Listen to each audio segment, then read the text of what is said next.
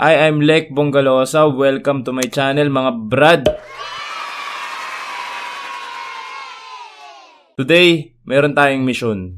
Ang mission natin, matuto tayo kung paano gumamit ng multimeter o multitester. Pareho lang yan mga pare. Kung nag-uumpisa ka ng career sa electronics o electrical, ito yung pinaka-basic instrument na ginagamit nila. Kaya makinig kang mabuti kasi magsusukat tayo ng voltage, amperahe, resistance, pati na rin yung continuity testing na yan. Simulan natin sa familiarization. Kaya tinawag tong multitester dahil yung iba't ibang tester pinagsama sa isa. Ampmeter para sa ampere, ohmmeter para sa resistance and continuity testing, voltmeter para sa voltage. Pero dahil pinagsama-sama sila sa isang tester, kinakailangan natin manually piliin kung anong tester ang gagamitin natin. Depende sa susukatin mo kung ampere ba, resistance, or voltage. Kaya mapapansin mo lahat ng multitester may ganito. Pumunta naman tayo sa port ng tester. Ito yung part na dapat alam na alam nyo. Dahil kapag mali yung pinasukan, baliktad or mali yung reading na makukuha mo. Basta tandaan mo, yung COM or common na nakalagay, palaging itim yan. Kung may pangatlo o pang-apat pang port, itusok mo lang yung pula sa may sign na nakalagay na V, Omega at MA. Yung ibang option na nakikita mo sa ibang multimeter, additional yon sa mga bagong model ng tester. Pero wag mo muna yung aralin ngayon. Magpo-focus muna tayo sa pinaka-basic. Kung nakita ka na ng multi-tester na kagaya nito at nito, pareho lang yan. May additional na features lang tong sa atin na gagamitin natin ngayon kasi meron siyang clamping meter na i-discuss ko pagdating natin sa last part ng video na to. Unahin natin yung voltmeter o pagsusukat ng voltahe. Kung mapapansin nyo, dalawa yung option natin ng voltmeter. Tingnan nyo lang mabuti yung symbol niya. Kapag ganito, ibig sabihin direct current yan. Battery yung pinakamagandang example pagdating sa DC. At dahil nagsusukat tayo ng baterya, dyan muna tayo sa option na yan. Sa direct current, merong polarity. Yung pula, dapat nasa positive ng battery at yung itim nasa negative naman. Kung hindi mo alam kung nasa yung positive ng baterya, basta sukatin mo lang then kapag negative yung reading mo, ibig sabihin baliktad. Pero pareho lang naman ang reading yan. Negative lang yung nasa una ng pagkakaiba. Magandang way rin yon para malaman mo kung nasaan yung positive niya at saka negative. So ito yung nasukat natin. Ibig sabihin, ayan yung voltage na binibigay ng baterya na to. Pwede mo rin yung gamitin sa mga baterya ng cellphone, camera, pati baterya ng sasakyan, pwede mong sukatin. Next, dito tayo sa AC voltmeter. Ang AC ay alternating current. Walang polarity, ibig sabihin walang negative, walang positive. Kahit magkabaliktad yung probe, tama yung reading na makukuha mo. Pinakamagandang example ng AC voltage ay yung nanggagaling sa Meralco na hinahatid sa bahay natin. Kaya yung saksakan nyo sa bahay sa pader, pwede nyong ma-check kung merong kuryente or ilan yung dumadaloy na kuryente doon. Meron akong extension dito. Isasaksa ko to sa saksakan namin doon sa nanggagaling sa Meralco. Titingnan natin yung mariread natin na kuryente. Maraming mga natatakot magsukat nito. Kasi totoo naman talagang delikado. Pero hanggat hindi mo inahawakan yung metal niya ng probe at doon ka lang humawak doon sa hawakan ng probe, safe ka hindi ka makukuryente. So, ayan yung nakuha natin na reading. Tandaan nyo, hindi yan laging 220 na eksakto.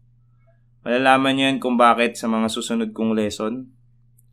Next, dito naman tayo sa ohmmeter. Magsukat tayo ng resistance at continuity ng isang wire. Pinaka-common na pinagagamitan ng ohmmeter ay resistor. Masusukat natin yung value ng resistor gamit yung magkabilang dulong paa niya. Kahit magkabaliktad yung probe nyo, ayos lang, same reading yung makukuha nyo. Pero take note, ang resistor merong color coding. Pwede nyong malaman yung value niya base sa color. Pag-uusapan natin yan sa future videos ko. So ito yung reading na nakuha natin sa resistor. Magandang way din to para malaman nyo kung ayos o sira. So yung reading na yan, malapit yan doon sa reading na equivalent ng color coding ng resistor na to. Medyo malilito pa kayo ngayon pero importante alam nyo kung paano magsukat Sa future videos ko, ituturo ko lahat yan. Next, pagdating sa continuity testing, simple lang yan. Kaya siya tinawag na continuity dahil sinusukat niya kung continuous yung connection from one point ng isang wire doon sa kabilang dulo. So pag nilagay mo yung probe magkabilaan, dapat meron kang mariread na resistance na napakaliit. Dapat maliit lang. Point something lang yung makukuha mo. Maglalaro lang yan sa point 1, point 2, point 3. Ibig sabihin nun, may connection yung magkabilang dulo. Ginagamit to sa mga circuit na maraming wire na hindi mo alam kung nasan ba yung connection ng dulo sa kabilang dulo. Effective tong way na to para makita mo kaagad kung nasaan yung kabilang dulo ng isang wire. Next, dito naman tayo sa amp meter. Sa pagsusukat ng amperahe, medyo mahirap. Kasi kailangan mong magputol ng wire sa circuit.